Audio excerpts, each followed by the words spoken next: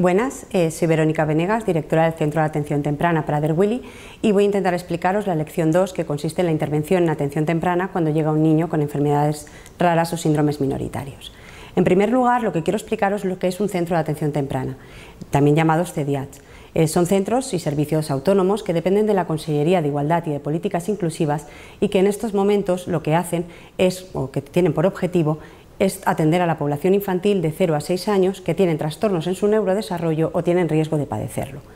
Dentro de los CEDIAS tenemos un equipo multidisciplinar que está formado por una fisioterapeuta, una logopeda, una psicóloga o pedagoga y técnicos en atención temprana, todos ellos formados de forma específica en este sector. Como podéis ver, tenemos un carácter interdisciplinar y una orientación holística. ¿Esto qué quiere decir? Que nosotros consideramos que la intervención tiene que abarcar tanto aspectos intrapersonales como interpersonales. ¿Qué ocurre cuando llega un niño con enfermedad minoritaria o síndrome a nuestros centros? Pues lo que hacemos es que pasa por una intervención que se puede ver dividida en diferentes momentos. El primer momento es la valoración inicial, Aquí lo que hacemos es una anamnesis a las familias donde ellos nos aportan documentos a nivel médico, donde se valora el desarrollo del niño y donde llegamos a, una primera cita para hacer una evaluación del niño y de su entorno. En la evaluación del niño y del entorno se pasa una escala de neurodesarrollo para ver a nivel global en qué momento nos encontramos. Se valoran sus capacidades a nivel cognitivo, motor, social, adaptativo y del lenguaje, dándonos una idea de cuál es su edad global de desarrollo. Posteriormente pasamos a una hipótesis diagnóstica y por último a un plan de intervención individualizado. En el caso de niños con enfermedades minoritarias, la hipótesis diagnóstica no es necesario, dado que ya vienen con un diagnóstico confirmado, bien por parte del, servicio de genética o bien por parte de dismorfología. Posteriormente, tras la evaluación inicial, lo que hacemos es una intervención terapéutica, que en el caso de niños con enfermedades minoritarias, lo que hacemos es dividirla en tres partes. La primera sería una acogida familiar, la siguiente una intervención familiar y por último la intervención terapéutica con el propio niño. Posteriormente, lo que hacemos es una evaluación de cada caso y un seguimiento de forma específica.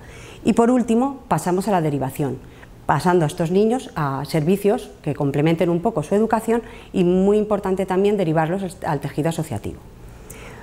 En la parte de intervención en la acogida lo que hacemos es una escucha activa con nuestras familias. Lo que intentamos es crear un clima que sea totalmente familiar y que ellos sean capaces de transmitirnos sus primeras dudas. De este modo nosotros como el equipo hemos podido formarnos en cuál es la enfermedad minoritaria, resolvemos todas las dudas que la familia nos plantea en un inicio, dando una visión realista y objetiva del propio síndrome o enfermedad minoritaria. Posteriormente se habla de los beneficios del diagnóstico temprano. Pensar que contra más pronto hacemos un diagnóstico, mejor van a ser los resultados en cuanto a evolución del niño. Y por último, trabajamos sobre el vínculo afectivo. Nuestro objetivo es que ellos entiendan que un buen vínculo afectivo va a llevar a un modelo de crianza óptimo y entonces la evolución del niño también va a ser mayor. El siguiente punto sería la intervención terapéutica a nivel familiar. Esta se simultanea con la intervención terapéutica del niño. ¿Qué hacemos aquí? Pues en un principio brindamos un apoyo en lo que es el proceso de aceptación. Pensar que es un proceso largo, como ya os ha explicado Pepa en el módulo anterior, es una transición muy complicada y estamos viviendo un duelo. Entonces nosotros lo que hacemos es apoyarlo en todas sus fases. Volvemos a marcar otra vez la importancia del vínculo afectivo. Es importante que entiendan a su hijo, que sepan cómo educarlo y que conozcan cuál es su ritmo y su desarrollo.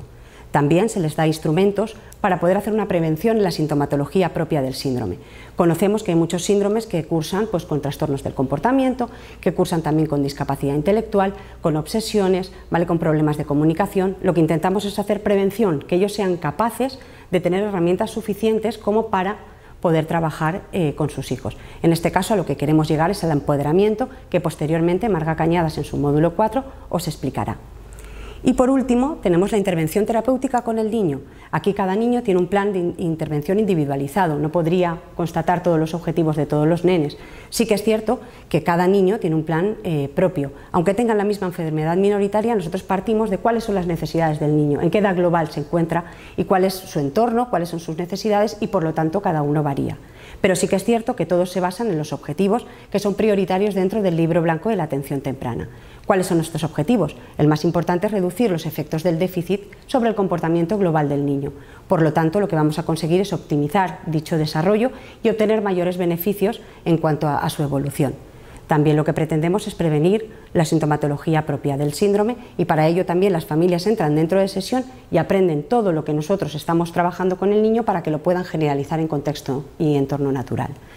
Al fin y al cabo, un poco lo que hacemos es atender y cubrir las necesidades y demandas tanto de la familia como del niño, intentando que la familia se empodere e intentando que el niño avance y vaya mm, reduciendo toda su, sintomatología. Y bueno, hasta aquí el módulo, la lección 2. Eh, muchas gracias por su atención.